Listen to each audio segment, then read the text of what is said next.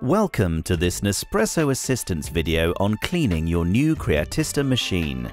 To fully appreciate top quality coffee creations time after time, we suggest you follow these simple instructions. To ensure the best hygienic conditions, it is highly recommended emptying and cleaning the capsule container every day. Remove the cup support by first removing the capsule bucket Pull the cup support forward and lift it upwards to disengage from the machine.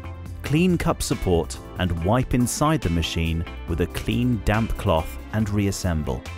Remove the water tank and lid. Clean both with an odorless detergent and rinse them with warm water. The quality of the water is essential for enhancing the quality aroma of your coffee, and we suggest you refill the water tank on a daily basis using fresh potable water. Rinse and dry the milk jug of your new Creatista machine after each use. If required, wash the jug with mild detergent. Fill the clean milk jug with potable water between the minimum and maximum marks and place under steam wand. Select the milk function and press start.